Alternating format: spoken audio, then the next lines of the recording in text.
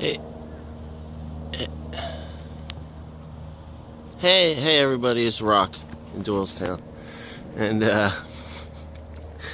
just makes me laugh. I wanted to show you the clouds today, which uh, were pretty much caused by the uh, the uh, white trails from the planes that I saw earlier, and I was out here, but I didn't get a video of it, so I'll give you a shot now. And uh, there were no, there, there were just these uh, trails out here, and these clouds are super wispy. But I guess it's uh, probably just because uh, of the uh, wind uh, that is out here. It's cool out here, nice, nice and cool. See.